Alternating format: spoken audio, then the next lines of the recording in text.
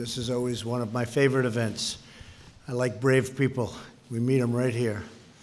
50 years ago, an American Marine fought with unmatched bravery in one of the longest and bloodiest battles of the Vietnam War, the Battle of Hue City. The name of that heroic Marine is Sergeant Major John Canley. He assaulted enemy strongholds, killed enemy fighters, and with deadly accuracy did everything you had to do. He raced into heavy machine gun fire on many occasions, all to save his fellow Marines.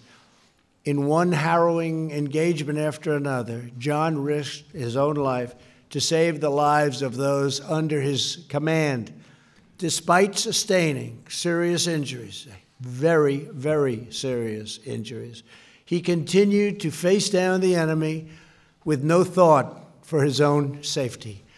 John waged seven straight days of unrelenting combat, personally saving the lives of more than 20 Marines.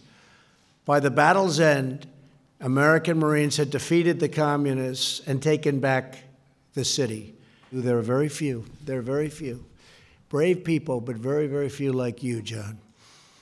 It is now my incredible privilege to present Sergeant Major John Canley with the Congressional Medal of Honor. The President of the United States, in the name of Congress, takes pleasure in awarding the Congressional Medal of Honor to Gunnery Sergeant John L. Canley, United States Marine Corps.